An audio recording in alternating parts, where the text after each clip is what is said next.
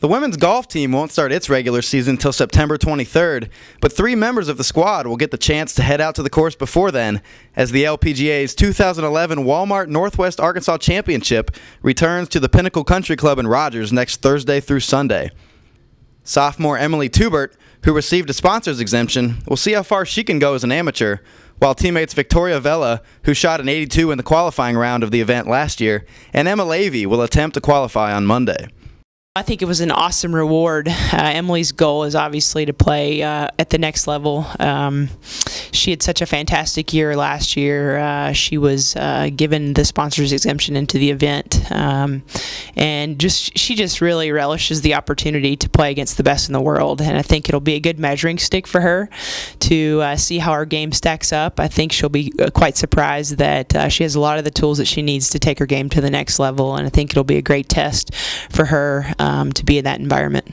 The Arkansas volleyball team took a five set loss to Oral Roberts on Tuesday, despite a record night from senior Kelly Stepanovich, who became the first Razorback since 2007 to post 30 kills in a match. Stepanovich, who also had 14 digs and 7 blocks, says that despite her efforts, the Hogs learned some valuable lessons from the defeat.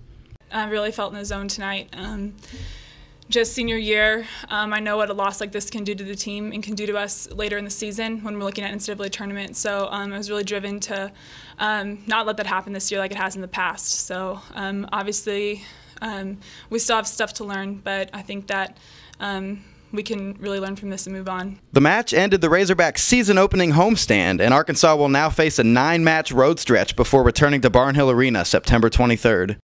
I think we'll be fine on the road. I, I, really do. It's just a matter of on that first weekend, just getting used to the fact of being on the road and sleeping in a different bed and all those things that come with it. Plane, uh, travel delays, uh, you know, eating in the airport when you were planning on having a meal, all those crazy things that happen when you travel and how we handle them.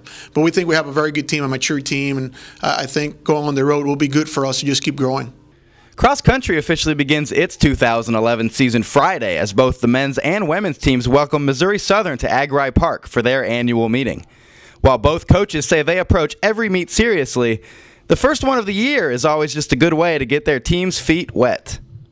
We'll run part of our crew to uh, kind of shake the rust off. Maybe some of the newcomers get a chance to uh, wear the uniform for the first time, make sure it fits and uh, we'll run 4K, and we look forward to uh, you know good solid competition, and even more importantly, we look forward to Saturday for a workout. We're just gonna.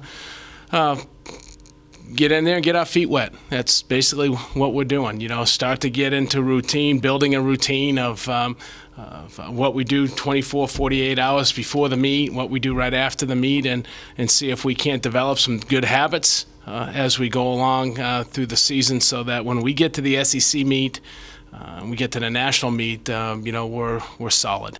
And of course, we can't forget about Razorback football, as the countdown to this season's kickoff has dwindled down to hours rather than days. After going through their weekly Perfect Thursday practice yesterday, Coach Petrino and his staff has confirmed the Razorbacks are ecstatic to run out of that A.